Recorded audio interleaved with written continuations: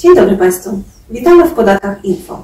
Tematem dzisiejszego odcinka jest Krajowy Rejestr e-Faktur.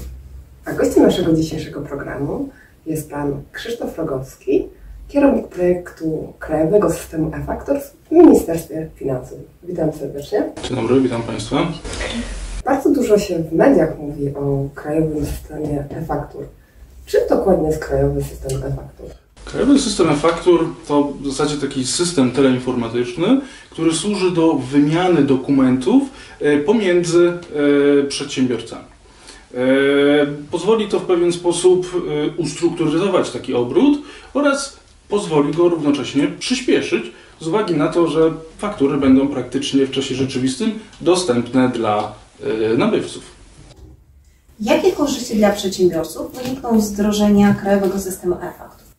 Tak jak już powiedziałem, na pewno przyspieszenie obrotu gospodarczego w pierwszej kolejności, e, na pewno bezpieczeństwo obrotu gospodarczego z uwagi na to, że system został w taki sposób zaprojektowany y, i wymaga uwierzytelnienia się e, za pomocą certyfikatów kwalifikowanych, czy też za pośrednictwem profilu zaufanego, który jest powiedzmy takim darmowym narzędziem. I tutaj zawsze będziemy mieli pewność, że fakturę wystawia w zasadzie podmiot uprawniony do wystawiania takiej faktury. A od kiedy tak naprawdę e, przepisy wejdą w życie i będą, e, będą wszystkich przedsiębiorców i organizacje pozarządowe obowiązywać? Mhm. Na tą chwilę mamy wersję fakultatywną, która od 2022 roku funkcjonuje. E, natomiast obecnie e, w procesie legislacyjnym jest e, wersja, można by powiedzieć, wdrażająca powszechne fakturowanie elektroniczne. Tutaj po dialogu z, z biznesem, z przedsiębiorcami, z dostawcami IT wzięto pod uwagę szereg uwag, szereg, można by powiedzieć, różnych zgłoszonych postulatów i mm, na tą chwilę Krajowy System e-Faktur wejdzie w życie w wersji oczywiście docelowej 1 lipca 2024 roku.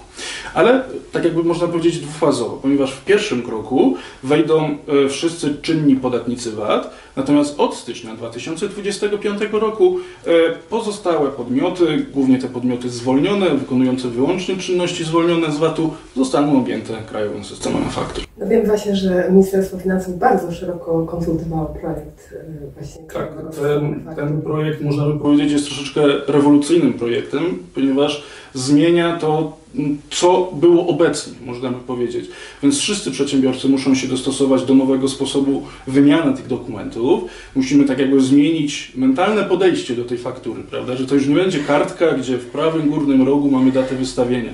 Musimy się przyzwyczaić do tego, że e-fakturą, fakturą ustrukturyzowaną są dane określony zasób danych, który jest przenoszony za pośrednictwem powiedzmy pliku XML, który automatycznie jest e, przetwarzalny przez systemy i to również tutaj pozwoli, można by powiedzieć, usprawni te procesy księgowe, ponieważ część rzeczy no, nie będzie już trzeba wykonywać ręcznie ponieważ e, one automatycznie będą mogły być, że tak powiem, przenoszone z poczekalni w programie księgowym do odpowiedniego już miejsca, jeśli chodzi o księgowanie.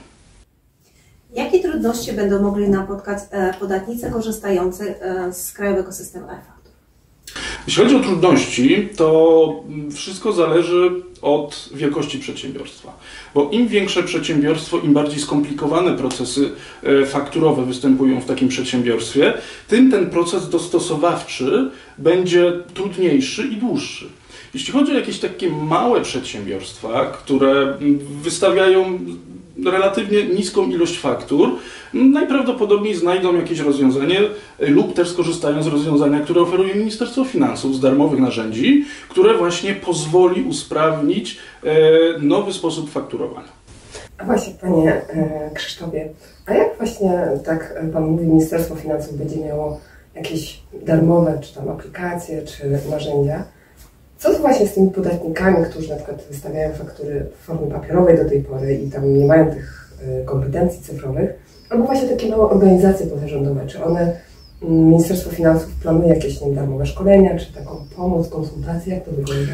Y, Jeśli chodzi o takie podmioty małe, tak jak Pani tutaj powiedziała, które no, wystawiają właśnie bardzo małą ilość faktur i na domiar tego jeszcze w tradycyjny sposób, mam tutaj na myśli ten sposób papierowy, to mm, tak, y, po wdrożeniu, można by powiedzieć, po, zaprze- po finalizacji procesu legislacyjnego, też już taka kampania, e, można by powiedzieć, ruszy troszeczkę mocniej niż obecnie, e, ponieważ no, czekamy aż te przepisy się już utrwalą, żeby po prostu mówić o tym, co, co już faktycznie jest, prawda? E, I wtedy też będziemy starać się do, docierać do tych najmniejszych, można by powiedzieć, podatników, przedsiębiorców, aby no, tak jakby pokazać im, że ta cyfryzacja wcale nie jest taka, taka trudna. No, relatywnie dużo osób posiada smartfona, prawda? E, Jeśli chodzi o e, darmowe narzędzie, to też Ministerstwo Finansów udostępni taką aplikację na telefon, można by powiedzieć. Więc tutaj będzie można e, fakturować, odbierać faktury praktycznie z każdego miejsca, można by powiedzieć, w Polsce. Więc tutaj myślę, że też ta aplikacja troszeczkę poszerzy tak jakby odbiorców tego rozwiązania, które oferujemy. Czy Ministerstwo Finansów już e, ma jakąś wdrożoną aplikację, która pozwoli na wystawienie e-faktur? Tak, obecnie mamy dwie aplikacje. Mamy e, aplikację e-mikrofirma.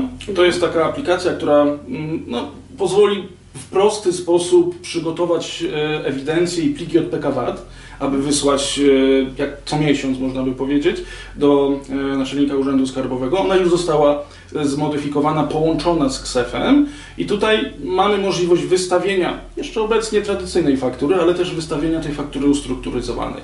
I ten proces praktycznie niczym się nie różni, ponieważ tak jak teraz wystawialiśmy tej aplikacji faktury, tak wystawiając fakturę, wygląda to identycznie.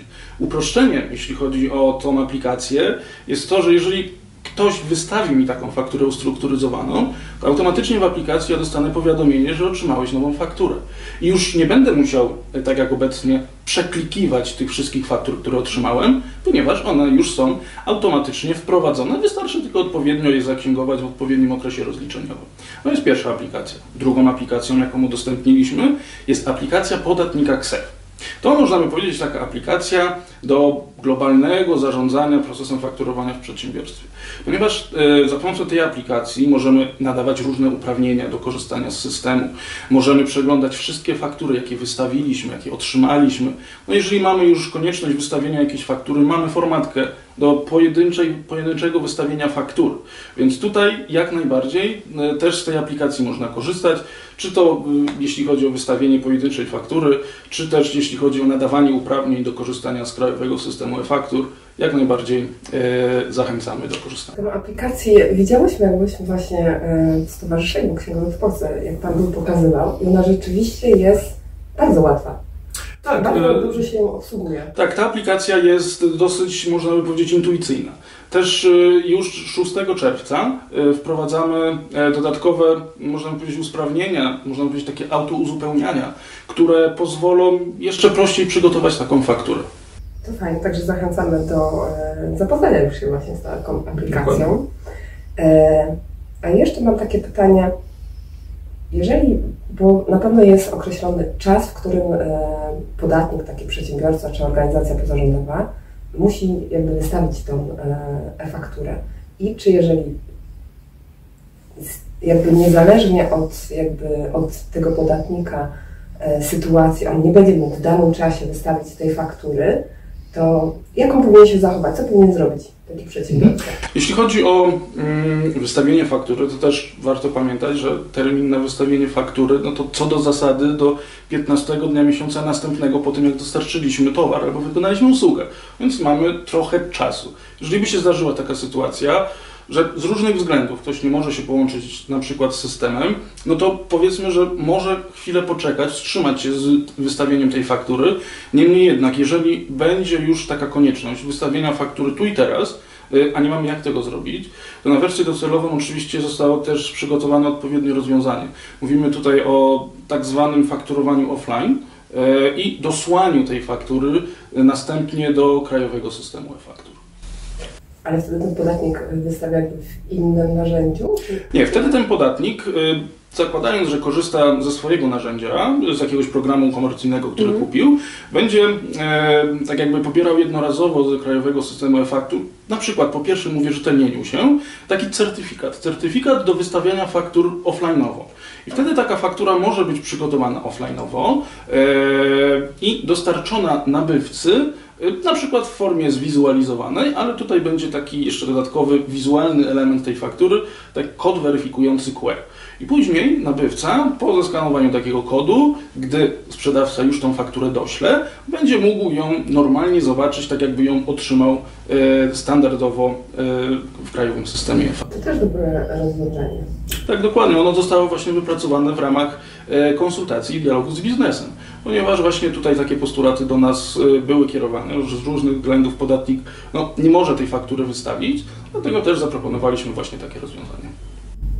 A jakie będą sankcje za niewystawienie faktury przez przedsiębiorcę w systemie Excel?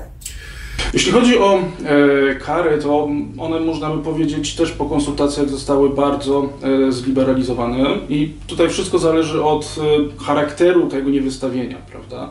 E, I one oczywiście są do wysokości kwoty podatku na, e, na fakturze, ale też mogą być zerowe, e, obniżane i całkowicie też nie nakładane. Więc tutaj wszystko zależy też od okoliczności, w jakich ta faktura nie została wystawiona w, w krajowym systemie e-faktur. No i tutaj też oczywiście organy podatkowe będą brały te okoliczności pod uwagę, nakładając ewentualnie właśnie taką, taką karę pieniężną. E, Także proszę Państwa, jak słyszeliście, nie taki straszny, tak? Wilk jak e, mu się z oczu patrzy. E, Także gościem naszego odcinka był Pan Krzysztof Rogowski z Ministerstwa Finansów. Bardzo dziękuję za wywiad Również bardzo dziękuję za zaproszenie. i również dziękujemy Wam Państwu i zapraszamy na kolejny odcinek Podatków Info, a program prowadziła Janina Pokaska? oraz Sylwia Rzepka.